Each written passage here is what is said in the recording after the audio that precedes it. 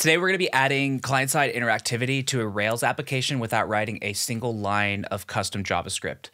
We're going to be doing this with the help of Turbo Frames and Turbo Streams.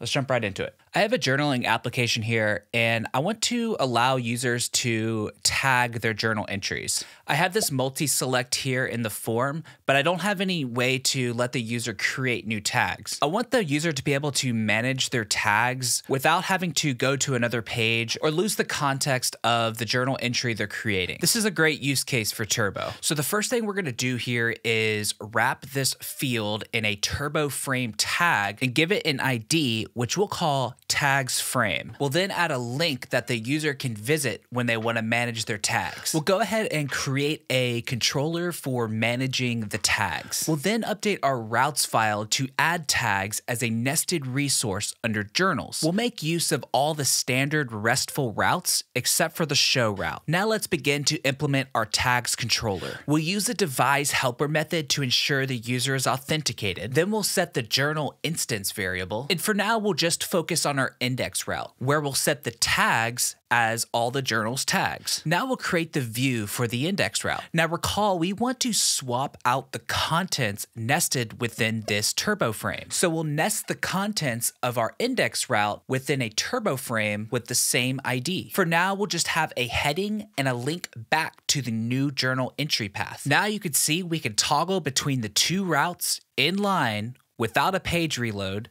that is the magic of turbo frames. Let's add a list of all the tags in a journal. We'll create a new partial for each individual tag, which for now will simply be the tag name in a list element. Since we don't yet have a way to create new tags with the UI, we'll use the Rails console to create a couple new tags to see what this list looks like. Now let's add the ability to create new tags from the UI. We'll start by creating a new action in the tags controller. In our index route, instead of rendering a form directly, we'll add another turbo frame tag here, giving it an ID of new tag, and we'll eager load the contents of the new route by providing a source parameter and giving it the new journal tag path. We'll create a view for the new action. And just like before, we'll wrap the contents of this new view within a turbo tag with that same ID. And let's go ahead and create a partial for that form. There's nothing too fancy going on here. It's just gonna be a standard form that takes the name of the tag, displays any errors if there are any, and the button to submit it. We'll go back to our tags controller and implement our create action. After we save the tag to the database, we're going to issue a turbo stream. When we create a new tag, we want to append the new tag to this unordered list without a full page turn. We'll accomplish this by targeting this DOM element by ID, which we're naming tags list. We're also going to want a way to manipulate this form, so we're also going to give this an ID. And in the case of a new tag, this helper method DOM ID is going to resolve to form tag. Create a new view to define the behavior of this turbo stream. The name of this file directly corresponds to the controller action. If there are any errors on this tag object, we will replace the DOM element with ID form tag.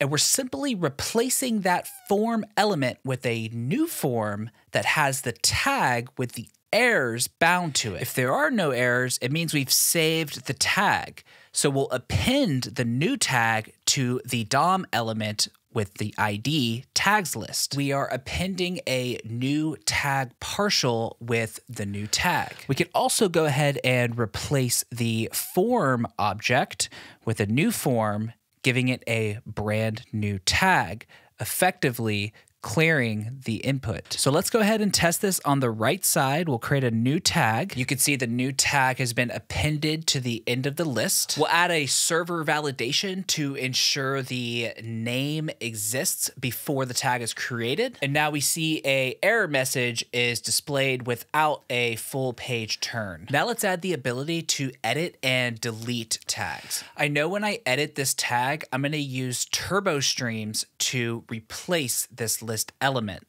So I'm going to add an ID so that I can target it. Now I'll update the markup to give the user an option to either edit the tag or delete it. Now, in order to swap the contents of this list element when the edit link is clicked, we'll need to wrap this content in a turbo frame and we'll provide a shorthand to get the DOM ID for this tag. So we'll go back to our tags controller to set up our edit and update actions. We'll set up a helper method to set the tag from the ID in the URL. Then we'll set up our edit action, which we don't need anything else for. And then we'll set up our update action. For this, we'll simply update the tag via the tag params and issue a turbo stream.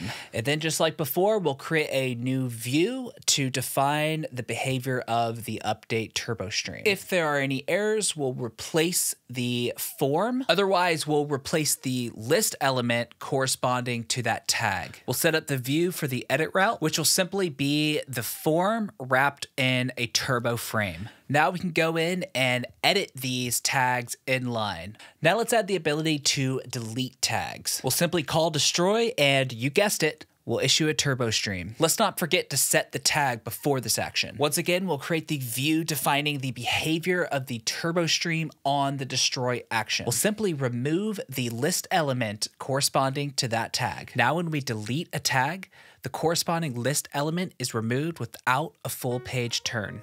And that is the magic of turbo frames and turbo streams and how they can help you write interactive Rails applications without the need for a lot of custom JavaScript.